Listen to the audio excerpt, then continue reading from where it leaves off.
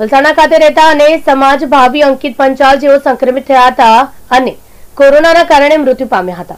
વલસાડના રહેનાર ચંદુભાઈ અને પ્રતિભાબેનને ત્રણ સંતાનોમાંથી તેમની સૌથી નાની સંતાન અંકિત પંચાલ જેઓ બે બહેનોનો એકલવાયો ભાઈ આજે મૃત્યુ પામ્યા. તેઓ સમાજ સેવામાં બહુ આગળ હતા. હાલમાં રોટરી ક્લબ ઓફ કડોદરાના સર્જન એક્ટ આમ્પના પદ પર હતા.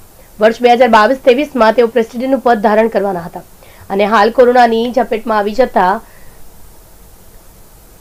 તેઓની સ્થિતિમાં ફ્રન્ટલાઈન વર્કર તરીકે લોકોની સેવા કરતા હતા. છેલ્લા કેટલાક દિવસથી તેઓ કોરોના પીડિત દર્દીઓની મદદ કરતા હતા, જેમ કે દર્દીને બેડ આપવાના દવા, વેન્ટિલેટર, ઓક્સિજન, પ્લાઝમા બધાની વ્યવસ્થા કરી હતી.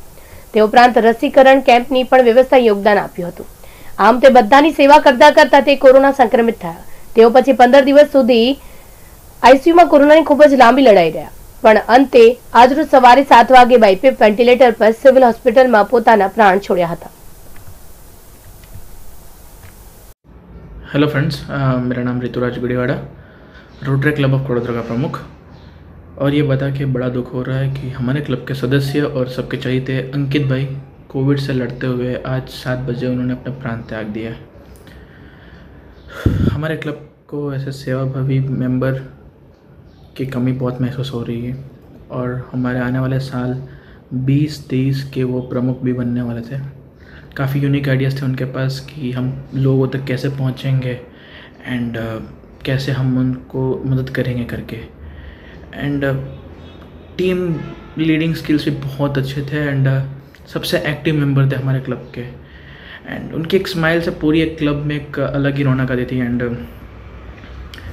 the team building skills are super and even अभी कोविड के टाइम पे भी काफ़ी टाइम ब्लड डोनेशन कैंप में या ब्लड डोनेट करते वक्त, जिसको भी अगर ब्लड्स की ज़रूरत हो तो उनके लिए इधर उधर जाना एंड अगर किसी को प्लाज्मा के लिए चाहिए तो वो काफ़ी हेल्प करते थे।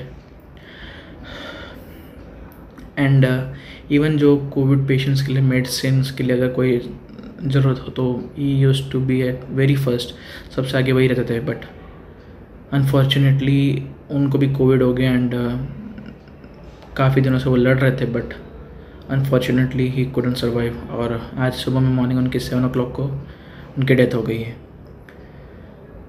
मैंने अपने बहुत अच्छे मित्र को खो दिया है एंड इसलिए मैं सभी से गुजारिश करना चाहता हूँ कि प्लीज़ कोविड को प्लीज़ हल्के में मत लीजिए। Please follow the proper corona guidelines please mask पहनिए। प्लीज़ हाथ धोइए। ट्वेंटी सेकेंड्स के लिए सैनिटाइज़र यूज़ कीजिए। And please social distancing maintain कीजिए।